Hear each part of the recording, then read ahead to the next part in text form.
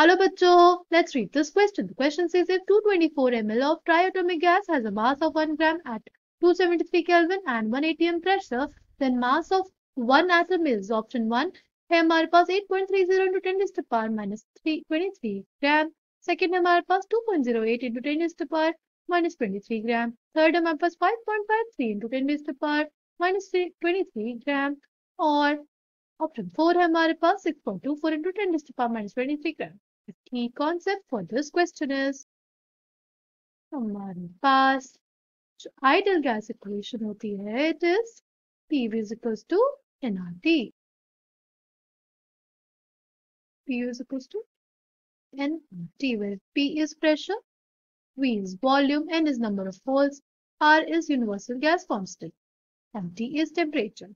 ठीक तो हमें प्रेशर कितना दिया हुआ है इस क्वेश्चन में प्रेशर मेंशन कर दिया वन मीटर ठीक वॉल्यूम हमें दे दिया 224 मिलीलीटर उसको हम लोग कन्वर्ट करेंगे लीटर्स में तो हमारे पास क्या आ जाएगा? हमारे पास आ जाएगा 224 फाइव थाउज़ेंड एक लीटर में हमारे पास थाउज़ेंड मिलीलीटर तो एक एम एल में हमारे पास वन बाई थाउज़ेंड लीटर ठीक तो हमारे पास 224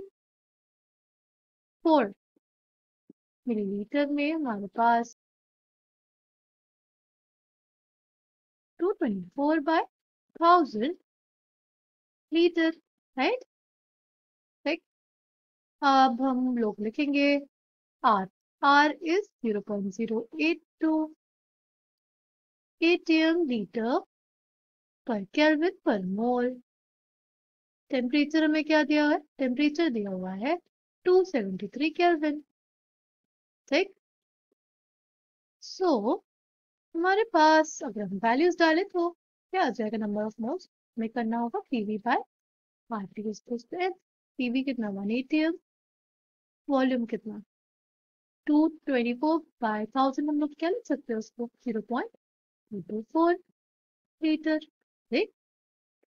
आर क्या है? Zero point zero eight two atm litre पर केल्विन पर मोल टेम्परेचर कितना? Two seventy three kelvin atm से एटीएम काट दिया. लीटर से लीटर पर केल्विन से केल्विन ठीक तो हमारे पास क्या आ जाएगा two two four by zero point zero eight two into two seventy ये एन आ जाएगा हमारे पास ज़ीरो पॉइंट ज़ीरो वन ठीक है? अब अगर हम लोग देखें हमारे पास नंबर ऑफ़ मोल्स कितना आ गया? Number of moles of triatomic gas गया। comes out to be point zero one mole, right? तो हमारे पास जानते हैं कि एक मोल में 6.022 into 10 raised to power 23 elementary entities होती हैं या मॉलिक्यूल्स या एटम्स या हमारे पास आयंस राइट एक मोल में हमारे पास 6.02 into 10 raised to power 23 elementary entities तो हम ये कह सकते हैं ना कि एक मोल ट्राई एटॉमिक गैस में 6.022 into 10 raised to power 23 molecules होंगे उस गैस के राइट और एक मोल में ट्राई एटॉमिक गैस में हमारे पास 6.022 into 10 raised to power 23 molecules होते हैं तो 0.01 mole of triatomic gas में हमारे पास 0.01 mole of triatomic gas में हमारे पास 0.01 into 6.022 into 10 raised to the power 23 molecules होंगे right यानी basically 6.022 into 10 raised to the power 21 molecule एक molecule of triatomic gas has three atoms देख हमारे पास कितने मॉलिक्यूल्स है हमारे पास है 6.022 into 10 raised to power 21 molecules.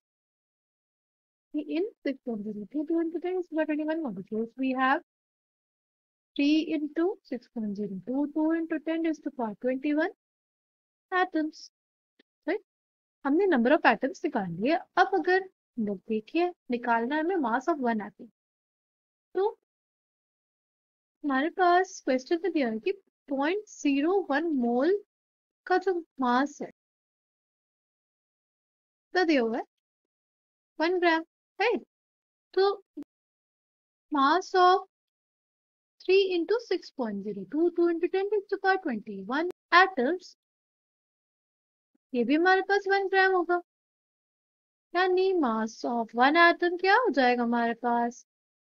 Mass of One atom will be 1 gram divided by 3 into six point two two into 10 raised to the power 21. This will be equals to 5.53 into 10 raised to the power minus 23 gram. Now coming back to the question. Correct answer for this question will be option 3. I hope you understood it well. Thank you and all the best.